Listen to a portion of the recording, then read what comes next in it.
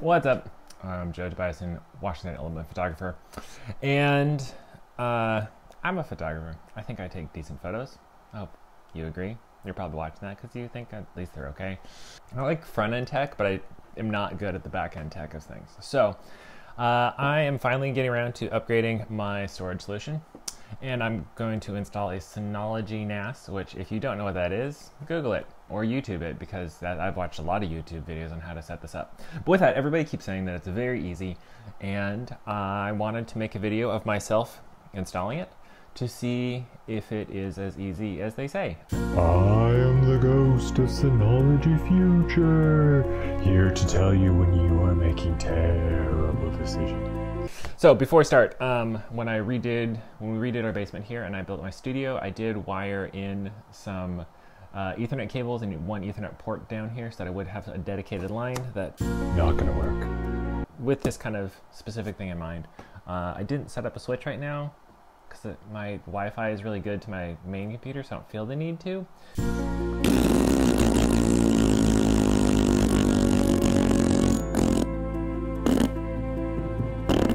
Also, remember, I'm a complete noob. I don't know what I'm doing. I'm just going through my experience of learning.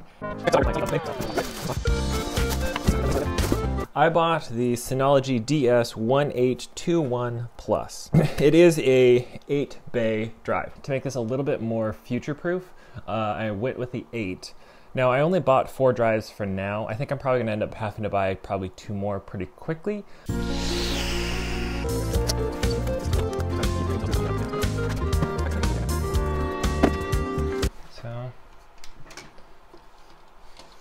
It does slide out really nice and easy like it's supposed to, which is great. Here. Uh, I did buy the Seagate Iron Wolf NAS drives, which is what everybody said you're supposed to buy.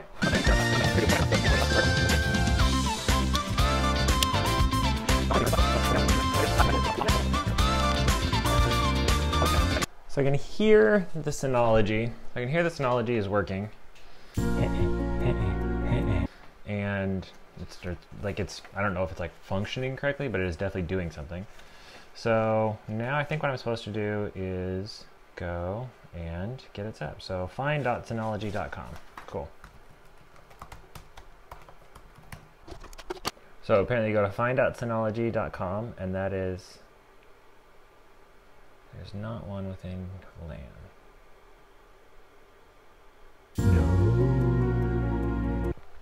All right, so since it's not showing up, uh, I'm gonna turn off videos and try some things. My first thought of what to check is whether or not the actual LAN system is working correctly.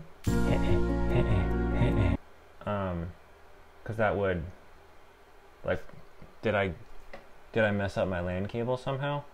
Um, I can't imagine how I did because it's all super duper simple. But I'm gonna go check those throughout the house because I had I hadn't had a chance to check them beforehand.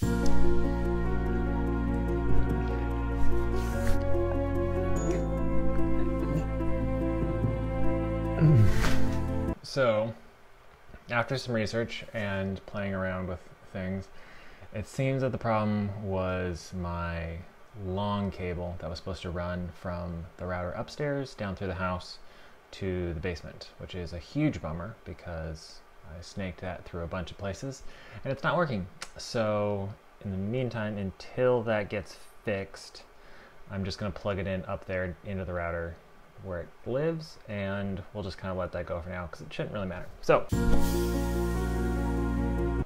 now let's try again. Oops. Now, one thing that is good here, I do just check my, my Ethernet here, and it does say that that is connected there at the 1G speed, so everything is connected. To, that is connected directly into that up there. That should be fine. Not gonna work. Yeah, find.synology.com. Let's see. Please work. Hey, there we go. So that was to say uh, the four drives in there, and then it will wipe them all and reformat them. So now it's doing the partition and cleaning and stuff. Hmm. I'm just gonna pause this. because this could take a while. So now we are going to create a new storage pool and stuffs.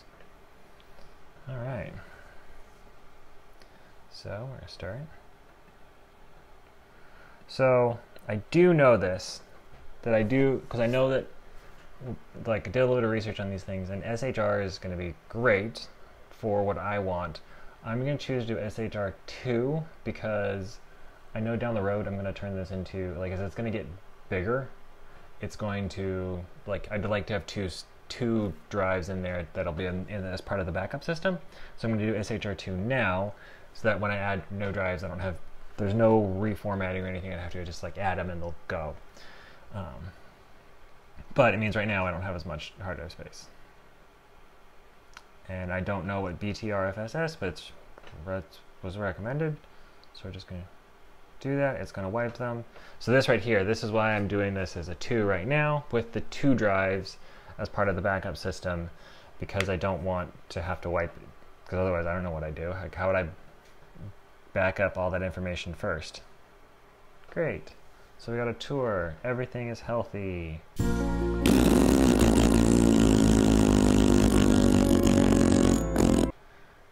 Awesome.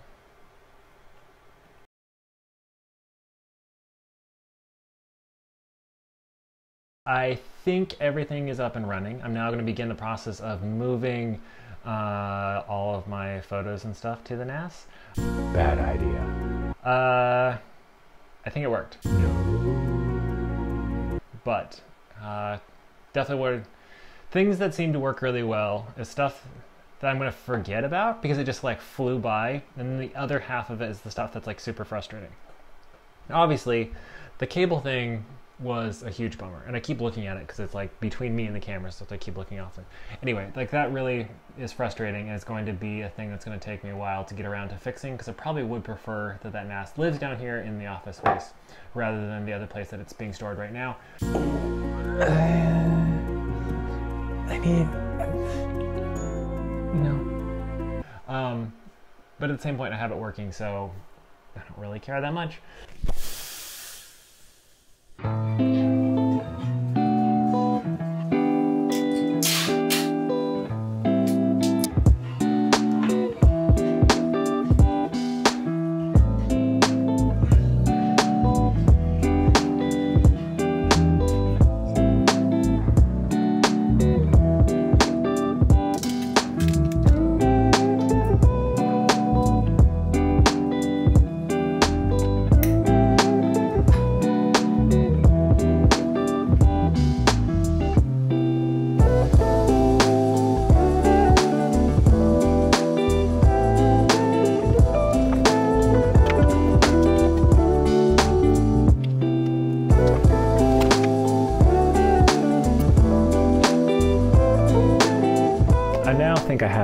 Everything figured out and it seems to be working pretty well. And I have the Synology synced, it's linked, it's working on both computers. So I think I finally got it. That definitely took longer than I expected, which in that respect is also completely unsurprising to me. Like it doesn't feel, it doesn't surprise me at all that it was harder than I thought it would be. But as always, it's like it's annoying when technology doesn't work the work like it's supposed to. Some of those are kind of beyond my control. Like the fact that the first uh, cable that I ran through the house didn't work. That's bonkers. Like how I I don't even I don't understand how a brand new cable wouldn't work like that. Now I should have checked it. That's for sure. Like that's definitely on that's on me. Um, but I mean seriously, like how is that not? How does that not work? That just seems like that's the most obvious thing. Um, the thing with what hard drive failing right off the bat. That's again completely not my fault. But at the same point, I kind of did it right in that like I plugged it in and let it run for a day, and then I found the problem and all I did is I sent it into uh, Newegg and they sent me a new one right back. So that wasn't a huge issue. Um, and now everything's kind of up and running, it does seem to be working. I guess the rest of those kind of mistakes that I made were simple, stupid things that, like, yeah, someone who doesn't know a lot about this kind of stuff would make. And now I know a lot more. And across the board, setting up the Synology system, I am blown away by how user friendly the Synology system itself actually was. Like, Again, I'm a complete novice about this, and it was really easy to set up with one major hiccup, and that was passwords. I don't know what, I don't know why. The password managers that I use both on my web browser and then also inside of Mac itself, for some reason didn't save the passwords. And I am so used to just kind of like right click, create password, go. And so like that the system creates these like, you know, really secure passwords and then saves them. And for some reason it didn't do that and I don't know why. Luckily, I was like screen recording myself making these making these along the way. And so all the passwords, I just went back and looked at them and like hit pause on the video and then type things out. So I had it all stored. Now I will delete those videos and too. But like it just was really annoying because that stuff's supposed to be stored and it wasn't. So I guess as you're going through, if you do that same route and that you're going to use the auto-generated passwords, you might want to make sure that you're writing those down in something just to make sure you get them used, get them saved. And once you log in once or twice, you know that everything is saved where it's supposed to be, then, you know, destroy the paper that it's on or do whatever you need to do. But just make sure that you do it right or come up with like create it with a super simple password and then change it down the road or something like that. But just like that password bit was a little bit annoying. Other than that, I'm really excited about this system. I did find it to be quite easy to install in general, even if along the way I had a couple hiccups. So I hope that was helpful to you. I hope it encourages you to be smarter about your own data backup, and I'll see you around. I am the ghost of Synology Future, here to tell you when you are making terrible decisions. Not gonna work. Bad idea.